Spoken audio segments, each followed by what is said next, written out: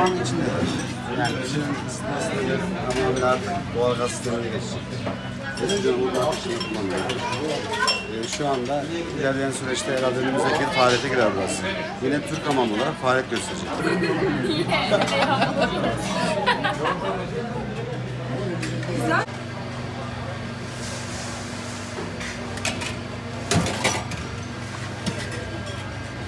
Tekrar isterseniz.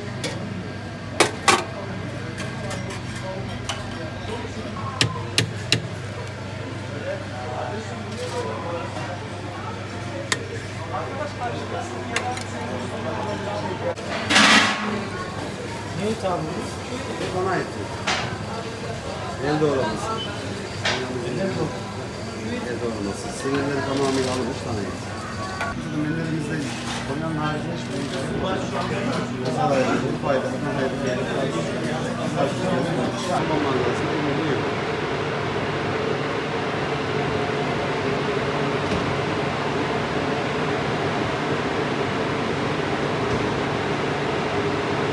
Şu an turizm sezonundayız. Gurbetçi ve yabancı gelen çok misafirimiz var.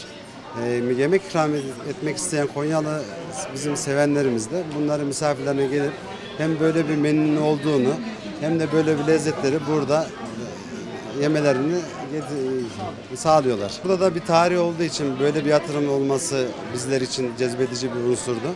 Hem burada Konya'nın bu kültürel lezzetlerini bize insanlara tanıtalım.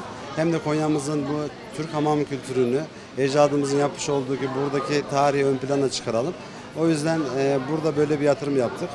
Ki yaptığımız iş yani Konya'nın en güzel bu değerini böyle bir yatırımla olmasa gerçekten sönük kalırdı, tanıtamayabilirdik ve başarılı olma şansı yoktu.